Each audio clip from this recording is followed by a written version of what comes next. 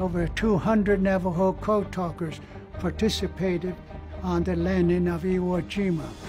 5th Marine Division were on the north side of the island.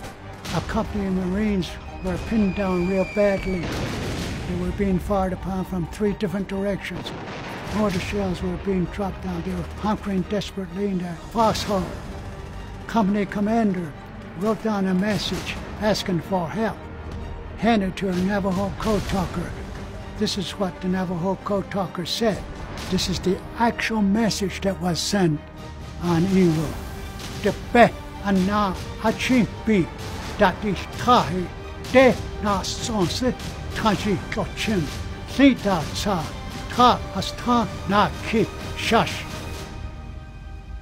What does that mean? This is what he said in Navajo.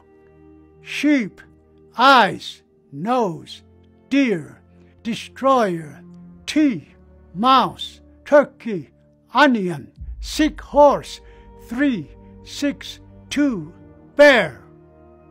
As each Navajo word came through the air, the code talker down at the beach command post, he writes it down in English.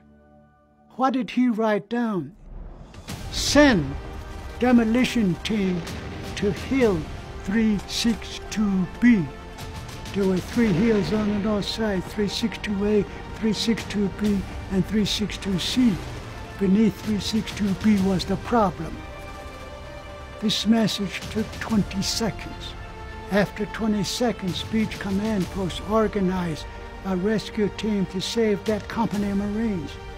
If that message was sent in English code, it would have taken 30 minutes. 20 seconds in Navajo, 30 minutes in English code. Those guys pinned down on north side didn't have 30 minutes. Without Navajo, Marines would never have taken the island of Iwo Jima. That's how critical Navajo code was to the war in the Pacific. And we should never forget what war is. War is something that nobody wants. It's bad, it's ugly. But so long as we are together,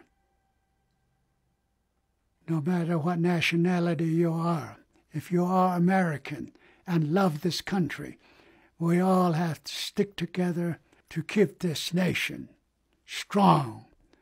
Our freedom and liberty means so much, meant so much for those who never made it home.